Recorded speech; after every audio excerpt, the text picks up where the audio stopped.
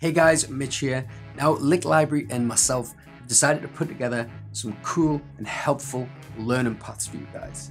Now, the first topic that I've chosen here is something that I get asked about a lot, and that is how can I improve and get that authenticity into my blues phrasing. So, what I've done is I've headed over to licklibrary.com and grabbed some lessons of mine from various courses to put together a little mini four lesson learning pack for this path. Okay, so we're getting started with the fundamentals all the way through to vocal and slide like imitation, but we have to start at the first hurdle, and that is hitting the right notes. So let's check out the lesson. We're going to talk a little bit about this after we have a look.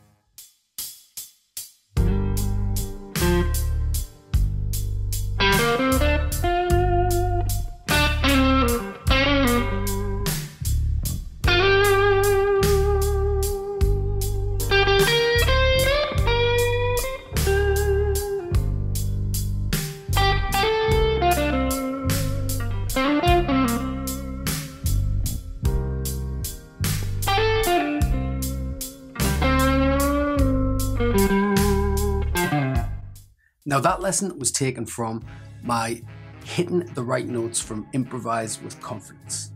And what's going to be really useful about this lesson is it takes us back to those foundations. Whether we think we know them or not, it's always a good starting point when it comes to blues phrasing.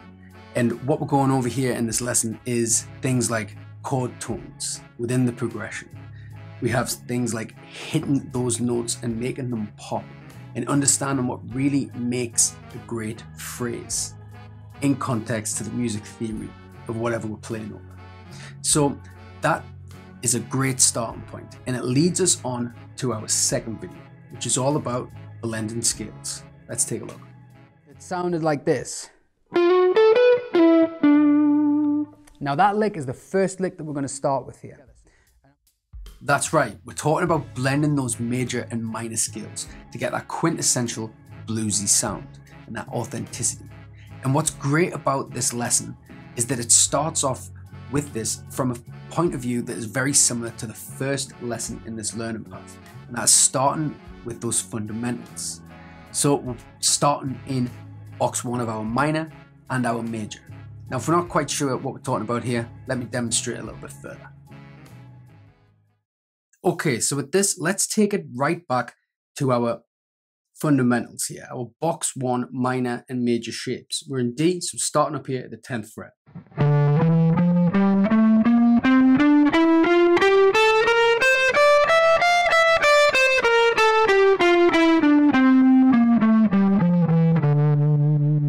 Now with that, we know we have our minor seven and our minor third.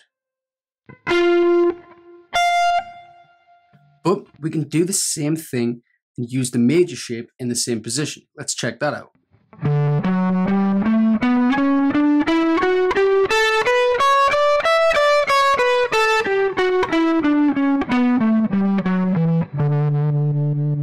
Now we have our major third. Now, what we're actually doing here is sliding in between. We're using bits from both. Because we have, and we have this, which is our minor. So we can blend them together really well. Okay, so moving on to lesson three in this learning path. We've covered our hitting the right notes, note choice. We've covered blending those minor and major scales. Now we're going to be talking about vibrato and bending, two of the most expressive qualities when it comes to blues and blues phrasing. And who better to start and to study than Mr. Albert King? So let's check out one of the licks from my series, Three Licks in the Style of Albert King. We're going to jump in to why these are so important.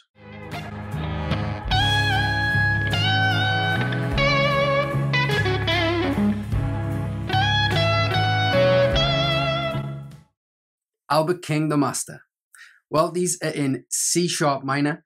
And what we're going to be doing here is really talking about the speed and timing of these bends. With Albert, it was all about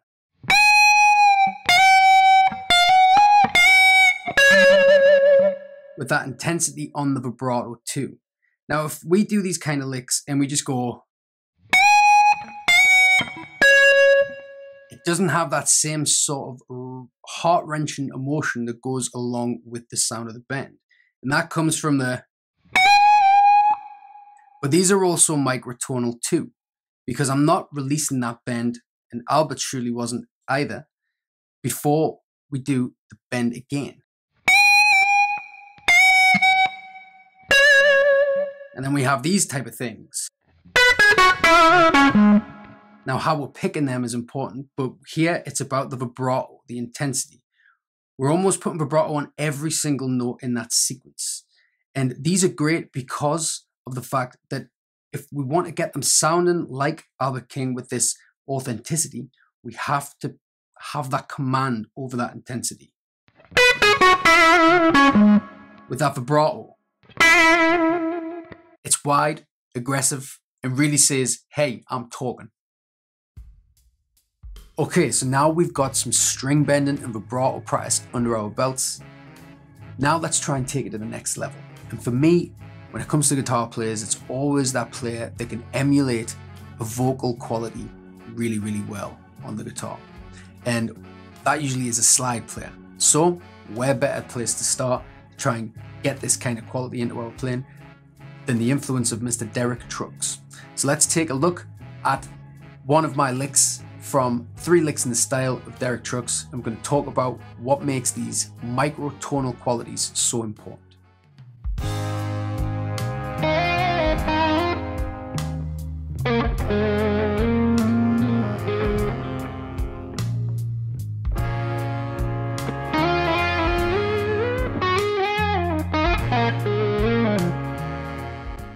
Now we're onto that real microtonal thing here. And what separates this lick from sounding like a vocal or a slide lick is really to do with the slides, the vibrato, and the manipulation of the pitch with slight bends. For example, we have this with the lick.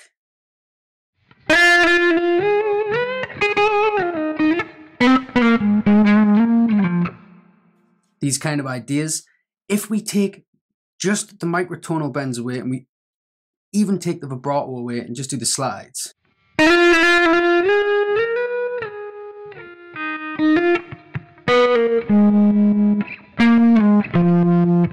Now, we have those slides in there and it, it sounds okay, but it's really about this.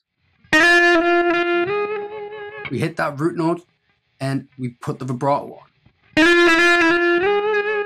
We also have to do those slides nice and quick, almost like grace notes of a voice. And from there, while that note's still going, we're going to be sliding up here.